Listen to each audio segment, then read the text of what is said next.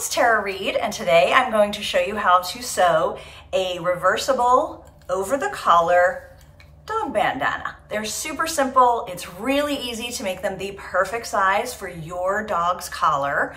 And I will also show you how to use heat transfer vinyl and add sayings if you are a Cricut and silhouette person, as well as a sewist. So let's get started.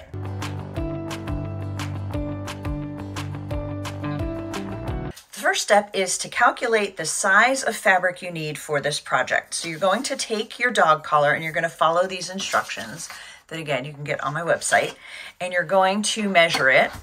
Since I'm using a rotary cutter I'm just going to measure it here. And you're you don't you want to measure in between the clasp and any kind of a hook because you don't want the fabric going over that. You won't be able to get your your leash attached. So I'm going to say 16 inches then you need to know how wide the fabric is on your collar. And I have uh, one inch fabric. Yeah, one inch collar.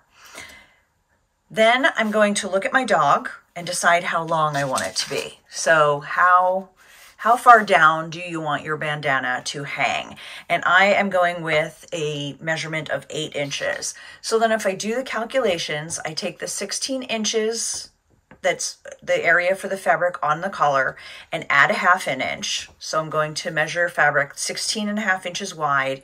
And then to get the 10 inches high, it's the one inch of the collar plus a half inch for seam allowances and eight inches of how long I want it to be plus a half inch. So I'm going to do 10 inches by 16 and a half. So to save time, I have already cut that. So now I'm going to put my two fabrics right sides together and I'm going to put it on my mat. Now you can make a paper template if you want, but with mats with measurements, I find it just as easy to do this. So we know that our collar is an inch and then we want to go a half down. So we're going to make a mark an inch and a half down from the top. So I have it at a half inch mark. So I'm going to, on both sides. And this is a fabric pen. When I um, iron over that, it's going to completely disappear like magic.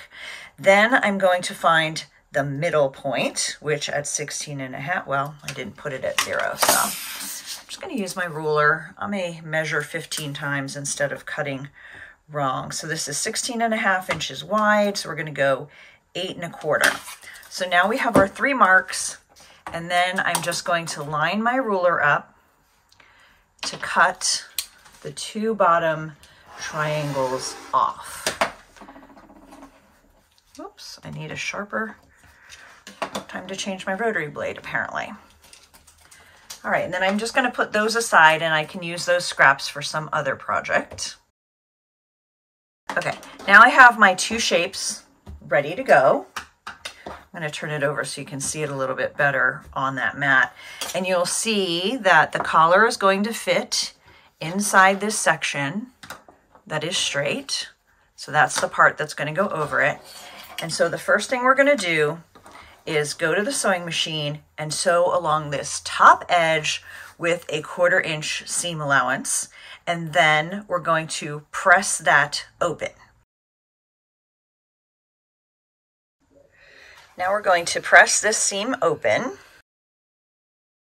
And now we're going to fold these in on each side about a quarter inch and then another quarter inch, press, and then we're going to stitch along there. And that's going to create the um, contained end for the dog collar casing.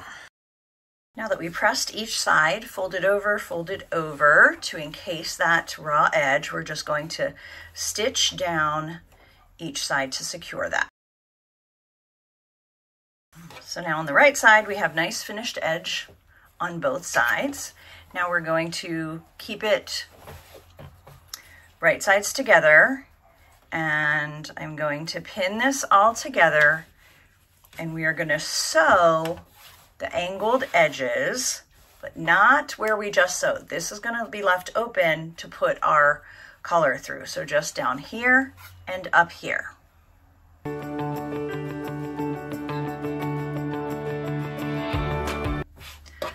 Now I'm gonna quickly snip at the point, and I like to kind of go on both sides when it's such a sharp point so that that's gonna turn nicely. And then you're just gonna gently turn it right side out through one of the collar holes, which are a little bit small, but you can do it. I always like to totally flip that before pushing everything through so you're not putting as much stress. And then you're going to iron it so that that's nice and crisp. Okay, press that. So that is ready to go. Now the next thing we are going to do is we need to sew a line to keep the collar in place. I guess you don't actually have to, but I like to.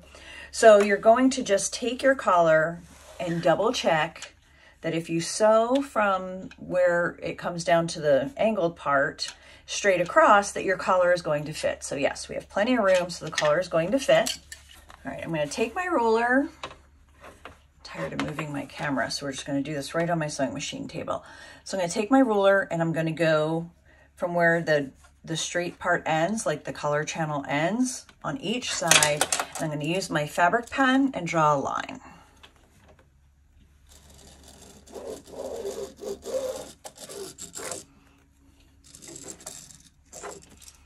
And that gives me a beautiful guideline, hot pink, that will disappear like magic when I run an iron over it, a hot iron over it. So I just, I love those things.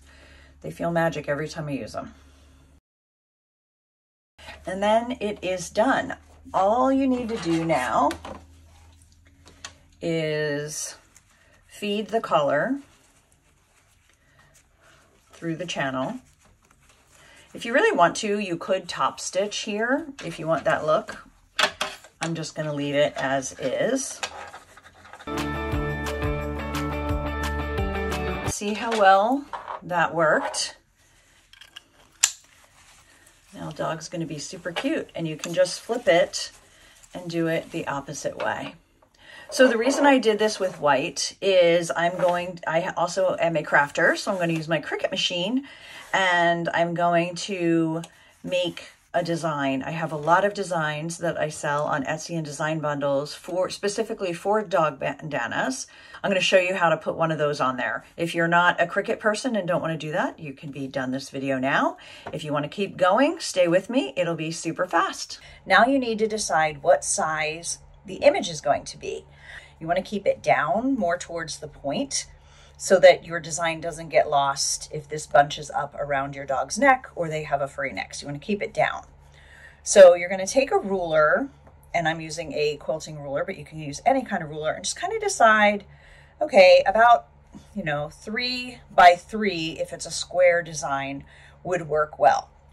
So the one I ended up doing you can't really see it till I weed it, but it is doo -doo -doo, um, like three by four and a quarter. And I decided that was going to work because it will be up here and it's still down a bit from the top.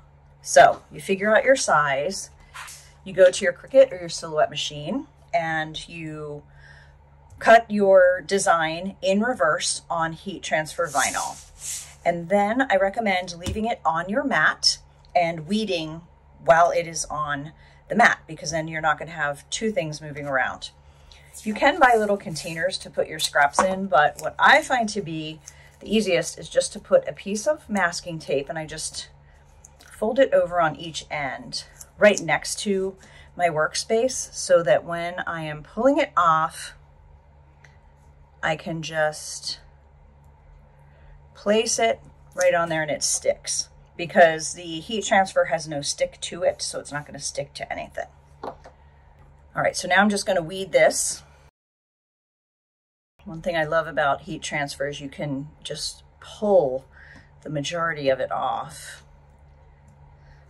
It's not going to lift other things up. So now I'm just going to make sure I get the inside of all the letters and any other little area may not have come off. These This font, these S's have a very small opening there, so they often, the vinyl sometimes rips. So you just want to make sure you get every part that you don't want on your dog bandana pulled out.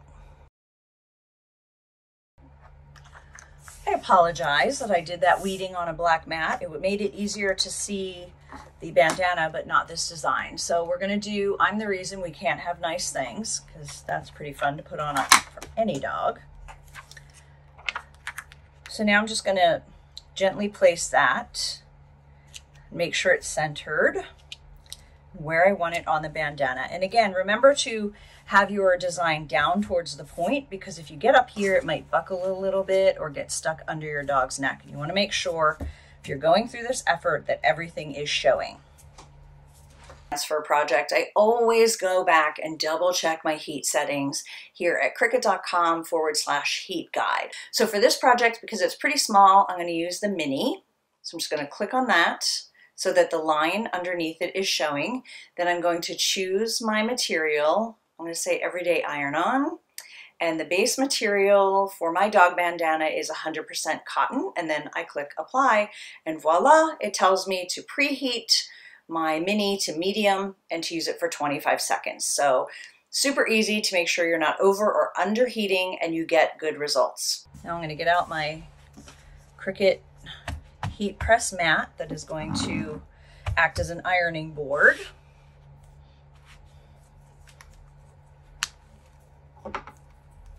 And I have my Cricut Mini. Now I'm going to heat it up to medium, just like the website told me to. So I'm just going to press twice. So it's two out of three. And when it's heating up, those are going to be orange and it will beep and these will be green when we are ready to press.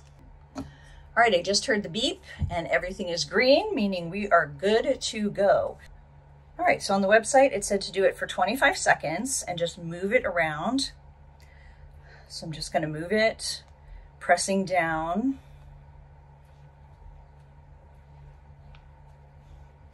Making sure I cover the entire design. And then you're just gonna gently test to see if it's coming up, okay? Then it also recommends you turn it over and give it heat from the back. And then you're supposed to let that cool and then just slowly remove it. And voila, you have a design on the dog bandana. So this one is again reversible. So I have a, you know, funny saying on the one side, which is why I did it white. And then the other side is just a pretty print.